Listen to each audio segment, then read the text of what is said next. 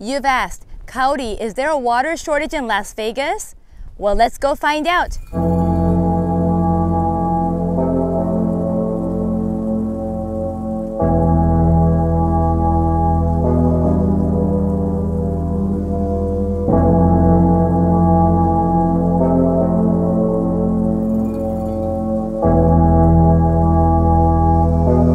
I'm inside the Lake Mead National Recreation Area. From Southern Highlands, I took the 215 East all the way till it ended, took the Lake Mead Parkway, kept going east. On the GPS, the closest place we are is the Lake Mead Government Wash. And from there, I parked my Tesla on the top and we walked down the hill about 15 minutes to this location. Where I'm standing was once filled with water. So we're actually under the water and let's go all the way down to check out that boat down there. I am here at the water level and as you can see behind me, this is the another angle of the sunken boat that you can see.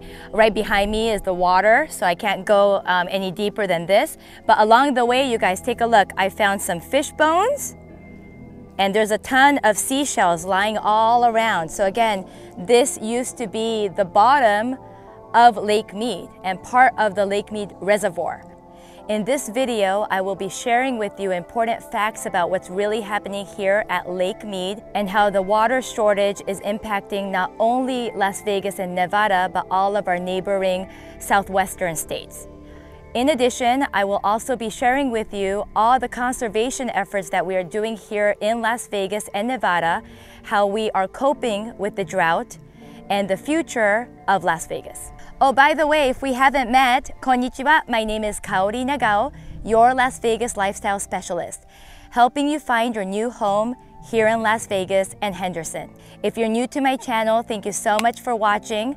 Watch till the very end so you can find out more about what's really going on here in Lake Mead. That footage you just saw of me visiting Lake Mead National Recreation Area is very concerning. Look at that sunken boat. And look at that water level from what it used to be and what is right now. This is very concerning and that's why I decided to make this video because not only do I want to share with you the facts of what's really going on, I wanted to share with you the solutions and what we have been doing here in Las Vegas for over two decades. What's really going on? Let's look at some statistics. On August 16, 2020, the federal government declared a Tier 2 water reduction on the Colorado River. This will limit the amount of water southern Nevada will be allowed to withdraw from Lake Mead beginning in January of 2023. This comes one year after the federal government, prompted by the low water levels in Lake Mead, issued a water shortage declaration on the Colorado River. In January 2022, southern Nevada's water allocation was reduced by 7 billion gallons. Starting in January 2023,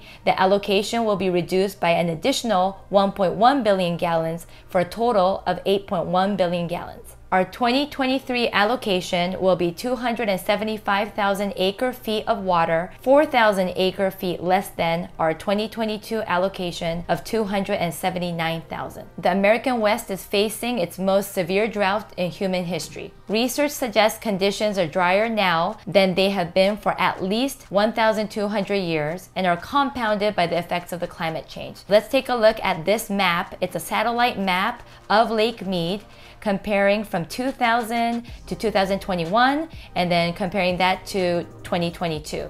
As you can see in this picture, Lake Mead is full. You can see that dark blue color and then going to 2021 that has decreased significantly. The color of the water is changing into that blue-green color and then even more so in 2022. This problem with the water shortage is not just Las Vegas and Nevada's problem. It's actually going to be impacting Arizona Arizona, and California. All of our neighboring states uses Colorado River as the water supply, and Lake Mead being the biggest water reservoir is the reservoir for the water supply for our surrounding states. Interesting fact, did you know that with the recent monsoon season that we experienced here in Las Vegas, Lake Mead actually rose in the water level?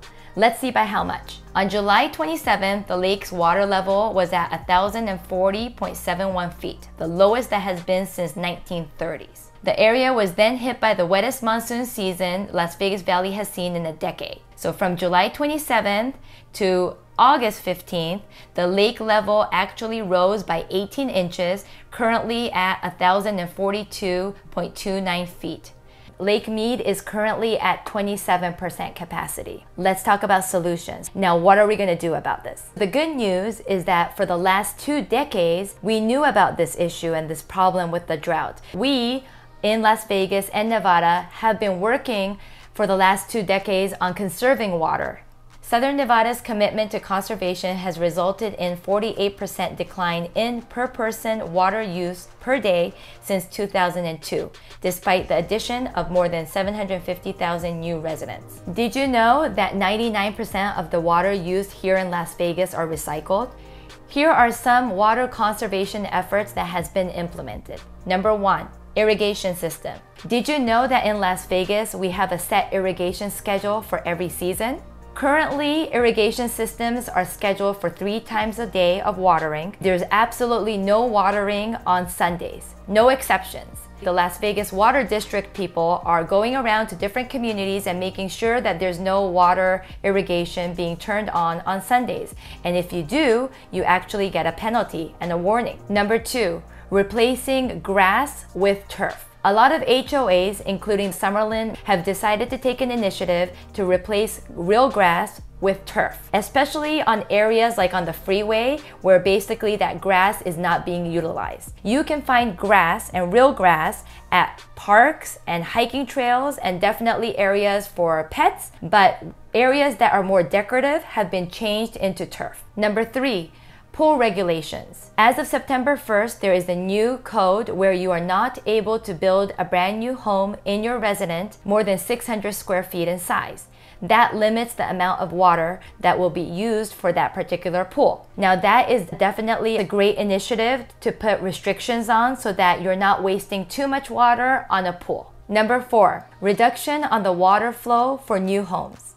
Especially in Summerlin West, all the new home builders are starting a new initiative where they're controlling and reducing the amount of water flow that you have in all of your sinks and bathrooms. Number five, prohibiting new golf course development. We have a lot of golf courses here in Las Vegas. Golf courses take a lot of consumption on water, especially when they have to seed the golf courses every year, grow new grass. By limiting the number of golf courses is definitely a great initiative to conserve water. Rest assured, we're constantly working on additional water conservation efforts so that we can make sure we don't run out of water. With our efforts with scheduling irrigation, replacing grass with turf, restrictions on pool sizes, restrictions on new golf developments, and with the new technology of high efficiency and low flow fixtures, our state is continuously providing measures to prevent water shortage. For more videos about Las Vegas and would like to know more about Las Vegas before you make your move out here, make sure you like, subscribe, and engage with me. Thank you so much for watching, and please make sure you hit that notification bell so you're made aware of my weekly content. Can't wait to see you on the next one.